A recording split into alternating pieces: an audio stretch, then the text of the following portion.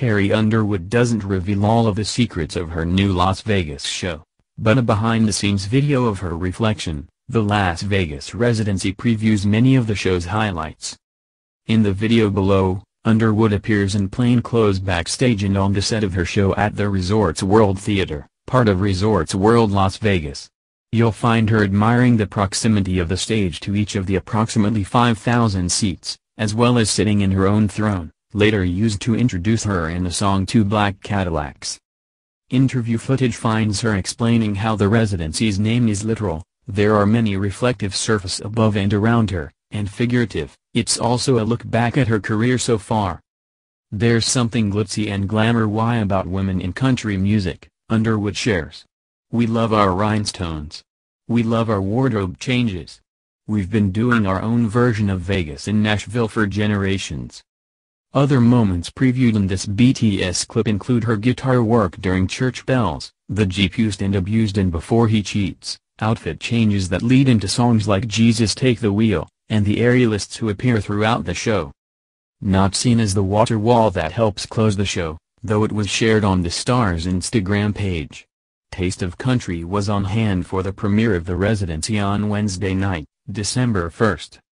In a separate video package shared via social media on Thursday night, December 2nd, Underwood gives a candid reaction to her first show on this newly built stage. After the crew assists her off the stage, she's seen wrapped in a fuchsia robe, looking bewildered. It was great, she says, smiling with laughter. I feel like I blacked out for 90 minutes. What happened? Carrie Underwood kicked off her reflection, the Las Vegas residency on Wednesday, December 1.